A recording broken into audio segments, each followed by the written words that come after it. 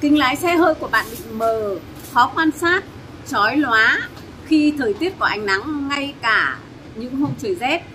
Vậy làm thế nào để các bạn phát hiện ra nguyên nhân do đâu? Xin chào các bạn và chào mừng các bạn đã đến với kênh youtube quản lý Lê Nếu các bạn là những người mới đến với kênh youtube quản lý Lê lần đầu tiên Mình xin tự giới thiệu mình là Lý Lê Mình uh, chuyên chăm sóc và làm đẹp cho ô tô Trong video ngắn ngày hôm nay mình xin chia sẻ với các bạn ba nguyên nhân gây nên kính lái của các bạn bị mờ, khó quan sát, chói lóa khi lái xe dưới trời nắng nóng. Rất nhiều anh em có hiện tượng khó quan sát ngay cả thời tiết trời lạnh. Ờ, khi có ánh nắng chói lên là các bạn cảm thấy rất là khó quan sát. À, vậy thì có ba nguyên nhân gây nên kính của các bạn khó quan sát. Nguyên nhân thứ nhất đó là khi các bạn đỗ xe ở dưới gốc cây ở trong quá trình mà lá cây rơi xuống nhựa cây cũng mang theo và bám vào kính xe của các bạn. Đó là một trong những cái hiện tượng mà gây nên kính của các bạn bị mờ. Và nhựa cây nó làm cho kính của các bạn ờ, sẽ bị nhựa cũng như là phần sơn của các bạn bị nhựa đọng lại ở đó. Do đó các bạn quan sát sẽ khó hơn. Ờ, nguyên nhân thứ hai đó là ờ, thời tiết mùa, mưa phùn này đặc biệt là độ ẩm rất là cao. Do vậy ờ, các bạn ờ, quan sát nó sẽ bị hấp hơi nó sẽ mờ hơn. Ờ, và một nguyên nhân nữa đó là có thể là kính của các bạn do gạt mưa gạt không sạch. Thì đó cũng là nguyên nhân. Nguyên nhân chính gây lên hiện tượng mờ kính mà rất nhiều anh em cũng biết đó là uh, hiện tượng uh, kính lái của các bạn bị mờ kính sườn khó quan sát. Đó là do phim cách nhiệt. Và có khá nhiều chiếc xe chúng ta không hề biết đó là nguyên nhân do phim cách nhiệt. À, phần lớn đó là những dòng phim nó không đạt tiêu chuẩn.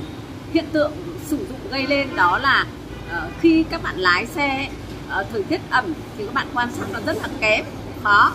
Và khi mà ánh nắng lên thì các bạn cảm thấy chói rất là khó chịu. Ngay cả thời tiết trời lạnh như ngày hôm nay tôi vẫn đang mặc áo khoác thì khi mà có ánh nắng mặt trời thì uh, lái xe bạn kêu rất là khó quan sát và khi đưa đến đây thì mình đã kiểm tra cũng là do cái keo của cái phim ghi nhiệt để nó nhả ra.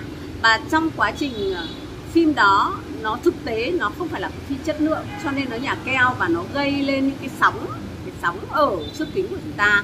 Do vậy các bạn lái xe cảm thấy nó rất là khó chịu, chói, lóa và bóng. Vì thế ờ, có rất nhiều anh em đã không quan tâm đến những tượng này. Và rất nhiều lái xe đã vội vàng đi gì ạ? Đi đánh bóng kính lái. Và khi đó thì sẽ hỏng mất cái kính lái cũng như là nó làm mất cái độ bóng của kính. Như vậy thì các bạn không xử lý được mà nó lại dẫn đến tình huống là đi cái kính của chúng ta không đạt tiêu chuẩn còn khó chịu hơn.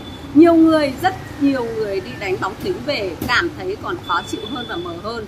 Do một nguyên nhân là các bạn không phát hiện ra là do phim, cách nhiệt của các bạn để lại những triệu chứng như vậy à, ngày hôm nay thì chiếc xe túc sơn này khi đưa đến đây à, và mình có nhìn khi mình nhìn quan sát ở ngoài vào mình phát hiện ra ngay hiện tượng đó là sóng sóng. Khi mà cái sóng của cái phim đó nó bị như vậy thì sẽ dẫn tới hiện tượng là bạn ấy đi sẽ bị chói lóa. Và uh, đó là một trong những quyết định khi mà mình bóc tấm phim ra thì uh, đó không phải hoàn toàn nó không phải là phim cái nhiệt mà nó chỉ là một tấm phim trắng màu thôi đặc biệt là kính lái, không có một chút chất lượng nào là phim cách nhiệt.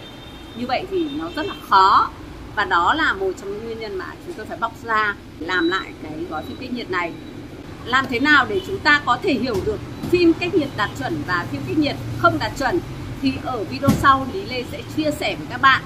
Hy vọng rằng nếu các anh em thấy hiện tượng xe của mình chói, lóa, bóng và kính mờ khó quan sát, thì hãy khoan vội đi đánh bóng kính lái chúng ta hãy kiểm tra thật kỹ bởi chúng ta có thể là sẽ làm hỏng kính của chúng ta mà không phải là do kính của chúng ta bị mờ cũng như bị xước, mà là do phần phim của chúng ta không đạt tiêu chuẩn. Thì chúng ta chỉ cần xử lý cái phần phim đó mà thôi. Ở video sau mình sẽ chia sẻ với các bạn ba cách để các bạn phát hiện được ra phim cách nhiệt thế nào là đặt các bạn hãy chờ đón vào ở video sau nhé. Ở video sau mình sẽ chia sẻ cho các bạn biết phân biệt về phim cách nhiệt dành cho ô tô. Xin chào và hẹn gặp lại các bạn. Chúc các bạn lái xe vạn dặm bình an. Xin chào.